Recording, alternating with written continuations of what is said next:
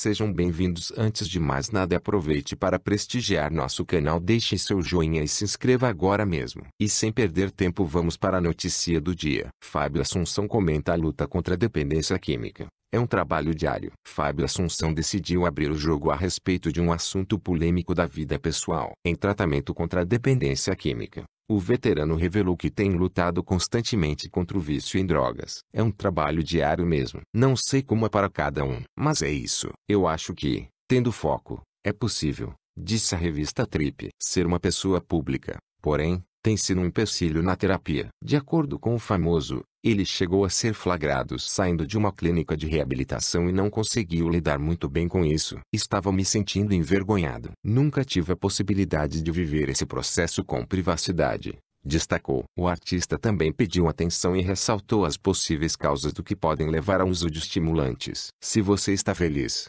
se está com saudade, se tem uma perda ou se acaba um relacionamento, tem que vivenciar isso e dói. Essas coisas. Todo mundo sente o impacto desses sentimentos. Não são sentimentos fáceis, explicou. Apesar de tudo, Fábio Assunção não se afastou das atividades na TV. Seu trabalho mais recente, aliás, foi como o vilão Ramiro no seriado Onde Nascem os Fortes, da Globo, que chegou ao fim no início da semana. E aí, o que você achou? Deixe seu comentário. Obrigado.